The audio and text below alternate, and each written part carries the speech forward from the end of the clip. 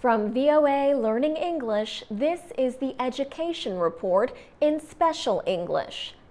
Classes in science, technology, engineering, and math are known as STEM classes. Many professors continue to teach STEM classes the traditional way, by lecturing.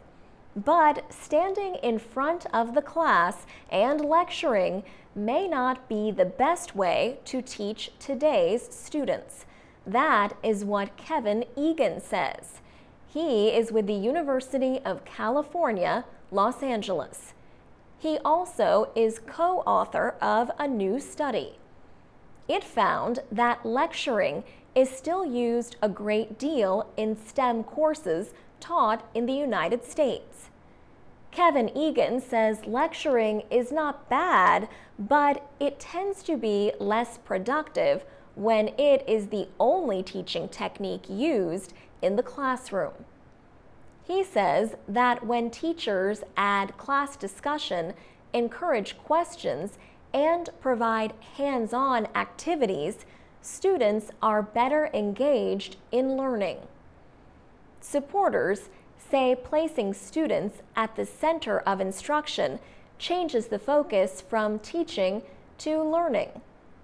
The study did find a growing use of student-centered methods like class discussions, cooperative learning, and student presentations. Female professors are more likely than male professors to use the new methods in undergraduate classes. More than 60% of female faculty in science, technology, engineering, and math said they used cooperative learning methods. That was compared to about 40% of male teachers. Lecturing is used the most in STEM courses. Kevin Eagan says faculty members need time away from their classes to learn some of these new techniques.